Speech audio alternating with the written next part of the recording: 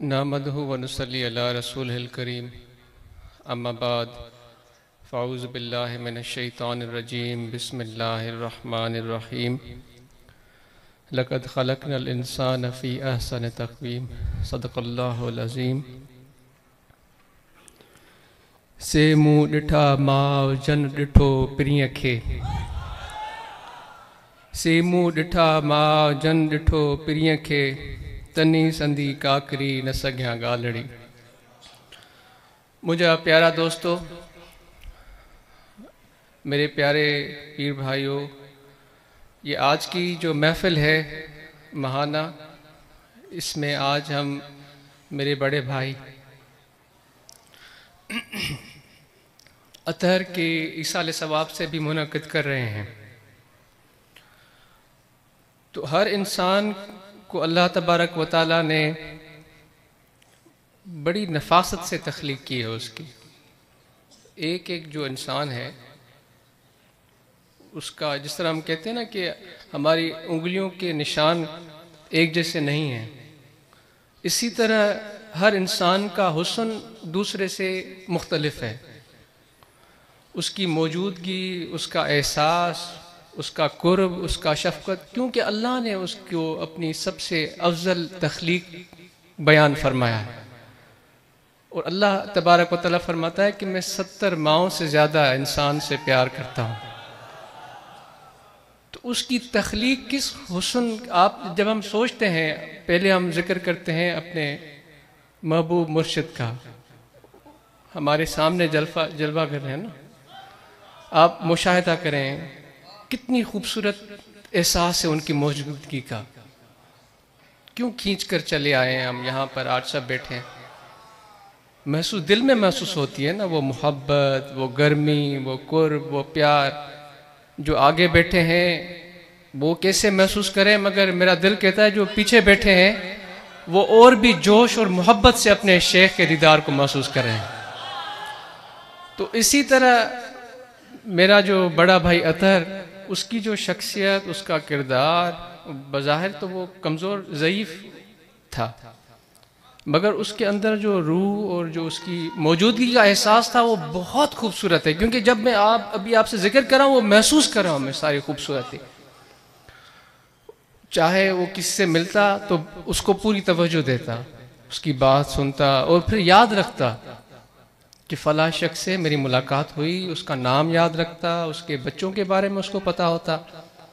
फिर जब हमसे मिलता तो वो फिर उसी मोहब्बत, उसी शफकत, उसी प्यार से मिलता। तो ये उसकी शख्सियत का एक बड़ा बेहतरीन इम्तजाज था कि वो जिसके साथ भी बैठता, उसको भरपूर एहसास दिलाता कि मैं आपके साथ बैठा हूँ। और मैं आपके दर्द को, आपके तकलीफ़ को, आपकी मोहब्बत को महसूस करता हूँ। तो ये मुझे अतहर की शख्सियत का एक बड़ा, जो है ना, ताकतवर पहलू आज महसूस हो रहा है। तो ऐसे प्यारे लोग, ऐसे प्यारे दोस्त इसी ज़िंदगी को खूबसूरत बनाते हैं, मेरे दोस्तों। ये खुदा की तरफ़ से ज़िंदगी बहुत बड़ा कीमती तोहफ़ा है। अल्लाह ने आपको सबसे कीमती अगर कोई चीज़ दी है तो वो ये साँसें हैं, ये ज़िंदगी है। इसको हमें ज़ाया नहीं करना चाहिए। फजूल बातों में आजकल तो ऐसी सूरत हाल है कि झूठ सच लगने लगा है। इतनी जोश, इतने ताकत से झूठ ताकतवर है कि हमें लगता है कि ये सच है। मगर इन इन चीज़ों में आप और हम कब ये अपने अंदर ये सोच और फ़िक्र पैदा कर सकते हैं जब मेरे पीर के फ़िक्र को, उनकी गुफ्तगु को गौर से सुनेंगे। खुदा की खुदा की कुर्ब को हासिल करना, उसकी शफकत को, उसकी मोहब्बत को हासिल करना, ये ऐसे नहीं है जैसे हम कोई फ़सल उगाते हैं या रोज़ी रोटी कमाते हैं, इसकी तकाजाएँ कुछ और हैं। तो ये सच को झूठ से अलग करना बहुत ही मुशक्क़त क्या बड़े ही एक ताकतवर काम है। ये खुदा के प्यारे वली और पैगंबर ही कर सकते हैं। अगर हम इसको करने की कोशिश करेंगे तो हम कभी दाएँ चले जाएँगे, कभी बाएँ चले जाएँगे। तभी तो कहते हैं ना, जिसका कोई शेख नहीं है, जिसका कोई मुर्शिद नहीं है, उसका मुर्शिद शैतान है।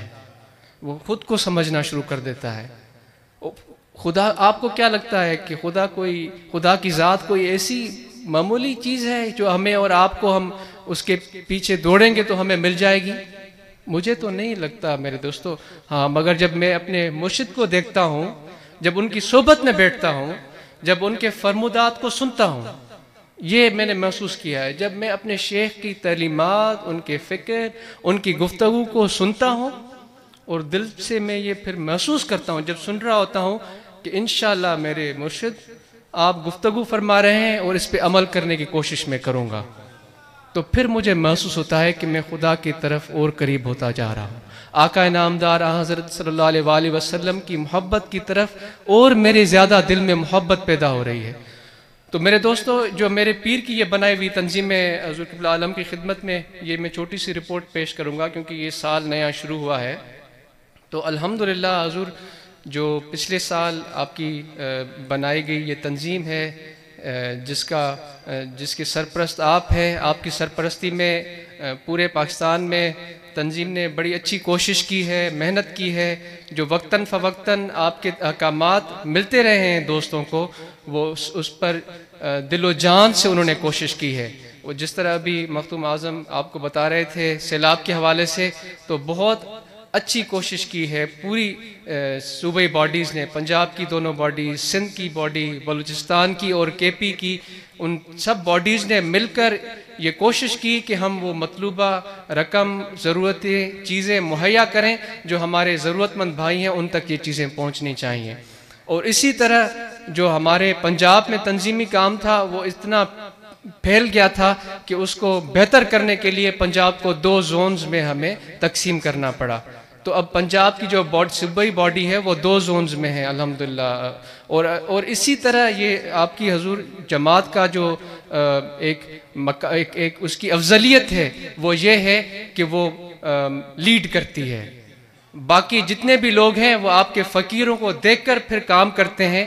आपके जो तंजीम के फ़करा हैं अहदेदार हैं वो सबसे पहले आपकी तलीमत को समझ कर और जो अमल करते हैं, देखने वाले कई साल बाद वहाँ तक पहुँचते हैं, जहाँ पर आपके ये फ़करा आपकी तंजीम पहुँच जाती है।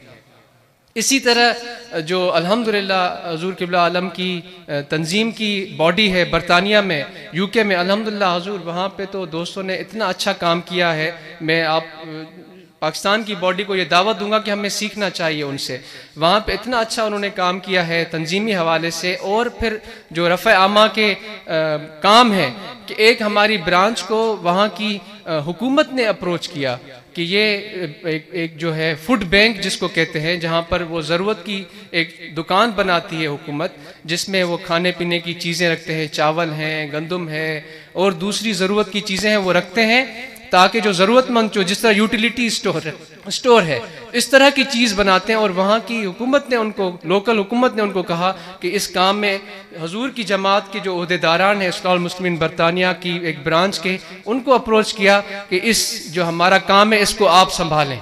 और वो बखूबी बेहतरीन तरीके से उस काम को सर अंजाम दे रहे हैं। और सिर्फ़ यही नहीं, फिर एक ब्रांच में वो रेगुलरली जो दोस्त हैं, क्योंकि गुर्बत दुनिया में हर जगह मौजूद है। मेरे दोस्तों, ज़रूरतमंद, भूखे, प्यासे हर जगह मौजूद हैं। हमें पता इसलिए नहीं होता कि जो हमें चीज़ें मैसर होती हैं, हम समझते हैं कि हमें, हमारे पास बहुत थोड़ा है, लोगों के पास बहुत ज़्यादा है। भूख, अफलास, तंगदस्ती, ये दुनिया में हर जगह मौजूद है, इसकी शक्ल, सूरत मुख्तलिफ़ हो सकती हैं।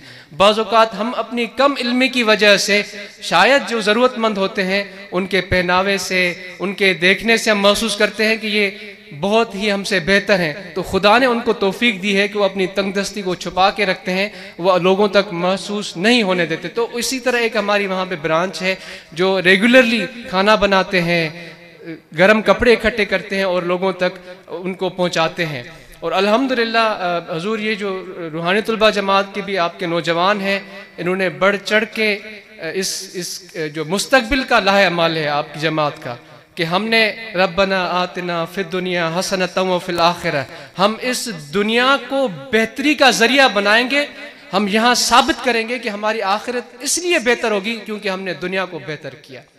खुदा ने ये दुनिया का तोहफा हमें दिया। आका नामदार हज़रत सल्लल्लाहु अलैहि वसल्लम ने इस दुनिया में हमें जीना सिखाया और खुदा की तख्लीक हुई इस दुनिया को हमने संभाला। यहाँ पे जो इंसानियत के हकूक़ थे, उनको पूरा किया। जो खुदा की तरफ़ से जानदार, चरिंद परिंद जितनी भी चीज़ें थी, जो माहौल हमें दिया किया था, उसको हमने नुकसान तो नहीं पहुँचाया, बल्कि उसको बेहतर करने की कोशिश की।